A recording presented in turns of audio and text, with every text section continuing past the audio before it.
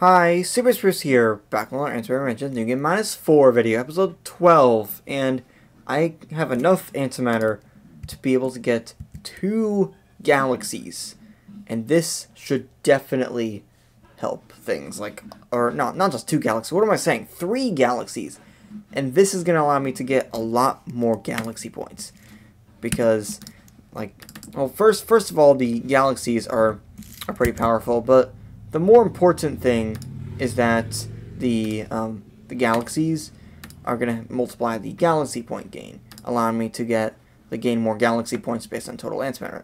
Also, this is up to 3.14 times from just three times, so that that will definitely help. Like next time, so like like think about it, like at three times flat. If I got this at exactly 20 galaxy points, the next time I would get um, 60 galaxy points. But here with the 3.14 times, it's more like 64 galaxy points. And that's a 4 extra galaxy points to spare. And this upgrade is based on unspent galaxy points. Like, you're going to see it, like, I'm probably going to go a little over 20 galaxy points in this run, just because it's probably easy to do so. And you'll, you'll just see what that's going to be like. When, when I said that, I, I meant you'll just see what like this upgrade will go up to. I'm actually not sure what it will go up to. It's probably it's probably pretty powerful, but I I really have no idea. And right now I'm just holding M. That's why it's so fast. Holding M is just the right thing at this point. It's just so much faster than before.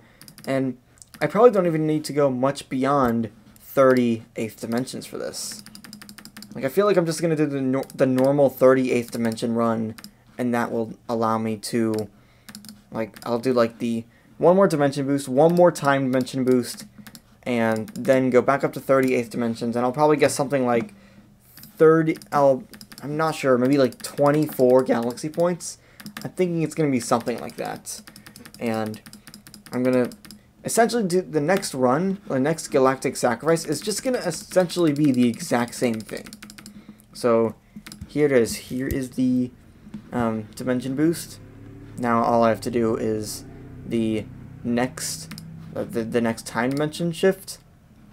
And I can actually Galactic Sacrifice for 21 galaxy points, but I, but if I can get quick galaxy points, like here, like it's probably going to take like one or two minutes to be able to get the next time dimension um, shift and like and, and then get 38th dimensions after that, and that's probably like a few more galaxy points, and spare galaxy points are going to be extremely important once I start getting these upgrades.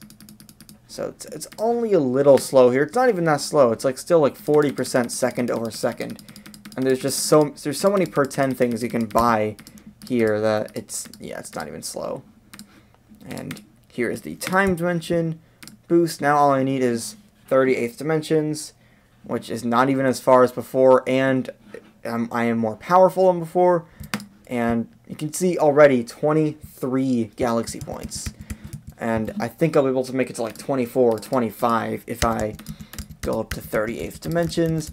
So yeah, I'm E34, E35 is coming up. Yeah, all I need is E38. So um, yeah, I'm really almost there. This will, it's gonna be pretty exciting. I mean, next run is gonna be boring. It's gonna be the, literally the exact same thing. Actually, here it is, 27 galaxy points. I may even go for a tick speed boost because I can. I'm not exactly sure. I, I think I should go for a tick speed boost because why not? Be, because I'll, I'll maybe the tick speed boosts help. I'm not sure how much they would help, but I'm actually just gonna try this because at the very least it's gonna be much faster getting back up to 38th dimensions. I'm not sure if they're gonna really help, but at least this will be a good test to see if they actually help me get galaxy points, or if they just um, help me get more antimatter. So E36, E37, and it is still 27 galaxy points. So I should probably not do that tick speed boost if I want to get the galaxy points. So yeah, here here we go, 27 galaxy points. I could even push to 48th dimensions, but I don't really think that's the wisest decision. So yeah, here it is. This will um, if I have 7 spare galaxy points, I'll be able to get a 13 times multiplier normal and time dimensions. If I am have like more than that. Actually, I, I saw a 27 spare galaxy points. It was like 260 times multiplier. And I'm thinking if I get like a 3 times 27, that would be 81 plus the 7 I already have there. I would have 39 galaxy points. This is going to be overpowered. But unfortunately, this run is going to be the exact same as last run. So I'm just going to do all of this off camera. See in a bit. Okay, I've done a compl- I have done another run, and actually I went all the way up to 48th dimensions here, which means I'm going to get 95 galaxy points, which is huge, because this will allow me to, like, after getting this 50 galaxy up- upgrade, to have 52 spare galaxy points. This is going to give me, let's see, 5.C9E2, which is in base 10, is almost a 1500 times multiplier on all dimensions, including time dimensions. That is like the 75 times.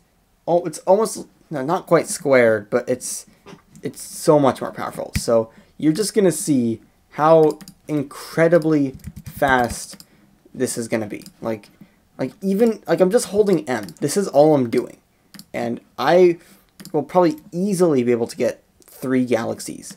And this, yeah, this is just gonna be overpowered, just completely overpowered. It's it's just like the last run is gonna be, it's just gonna feel so slow compared to this one.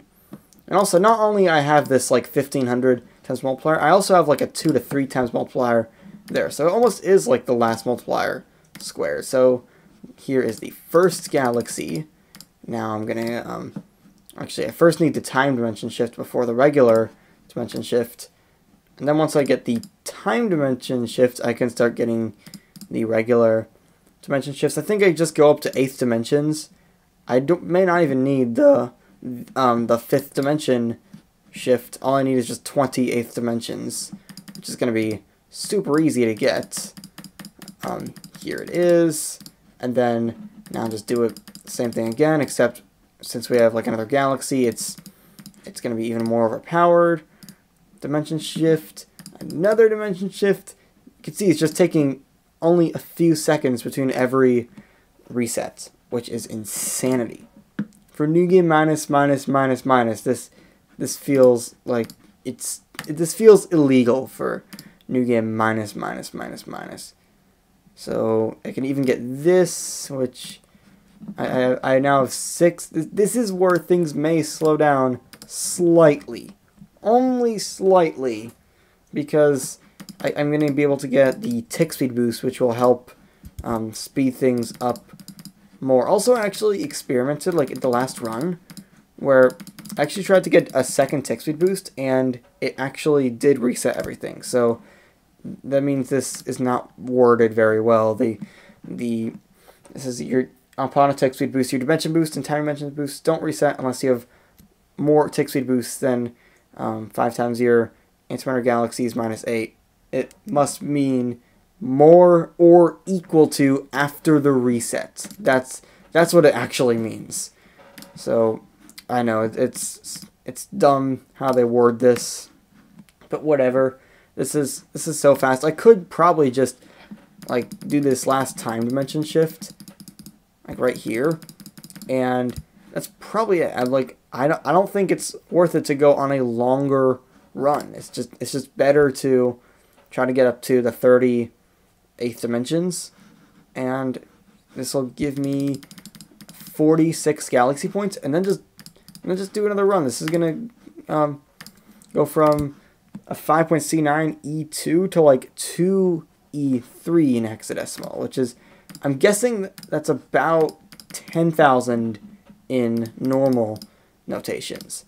So I just got like another 8 times multiplier. Even with the dilation effects, it's still probably like a 4 times multiplier on normal dimensions and time dimensions.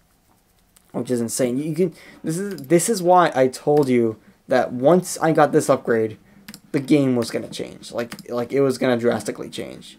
Because it did that in in the other New Game Minus mods, so of course it's going to do that in this mod as well. So I'm I may try to just go for another shorter run, or I may try to go for a longer run. I'm I'm real I'm actually not sure what I should do. I feel like I'll do one more shorter run and then go for a longer run to see how far I can get, and then maybe I'll start focusing on the challenges.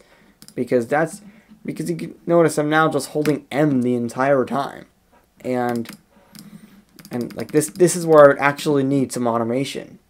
Like before, it was not good because it was buying all these time dimensions, but now it's so fast that like it it should be buying uh, or or I mean it shouldn't be buying these, but it's still faster to do that than to just do it like manually. Also, I only have I had like no time dimension shifts there. I, I had six dimension boosts and and three time dimension shifts. So like that that's how insane this was. I'm like, why why why is this much slower than it should be? Because I have don't have the time dimension shifts that I would normally need here. So 30 actually I, I I'm probably not even get the tick speed boost. Tick speed boost just speed things up. It doesn't it does not help with galaxy points. Um, so, yeah, I don't really need the tick speed boost. I, okay, what I'm gonna, what I'm going to, actually, I don't even think I need to go on the sort of longer run. I think all, all I need to do is just keep doing these shorter runs, and you can see I'm getting almost 20 galaxy points every minute. I, this may not even be the most efficient strategy. It may be more efficient to just, like, do it earlier. But here it is, 19 galaxy points per minute, 46 galaxy points. I can get this upgrade, but then it's going to nerf that upgrade. So I'm probably not going to do that. And honestly, I feel like I should start going for challenges. And maybe pretty soon. I feel like I just want to do one longer... I, I don't know. Longer runs are not even going to help at this point. Like, I, I really think the shorter run like you could like in New Game Minus Minus Minus. Remember episode six? The title was literally "Short Runs Are King," because I was finding out that shorter runs like this, and what I mean by runs, I mean like galactic sacrifices. Like like the shorter runs are or um, turned out to be much better than longer runs where I tried to get as many galaxies as possible. I mean, it could help with this upgrade here, but I think it's better just to try to get as many galaxy points as possible. Also, this is now up to 6.75 E3, which is about a 3 times multiplier to all dimensions. Even with the dilation nerfs, it's probably like a 2 times multiplier to all dimensions. So, yeah, that's pretty overpowered. Like, you can see how many tick speed upgrades I'm getting. Like, actually, I don't, I only have fourth time dimensions. Like, once I start getting the time dimension shifts, I'm able to get a lot more of these tick speed upgrades. And it's just super easy to reach the 38th dimensions. And even, even probably like 40 to 50 will be easy. The, the thing is, though, with like 40 to 50 eighth dimensions, is that like a lot of the progression in New Game Minus Minus Minus is based on like the like the per 10 things is just like this multiplier in all dimensions and it's instead of exponential like in the vanilla game, it's polynomial, which like it's exponentially it gets weaker over time. But anyway, I'm just gonna get these 46 galaxy points, and I think I'm just going to um, start focusing on the challenges. These challenges will be in the next episode. So, yeah, hope you enjoyed. Peace out.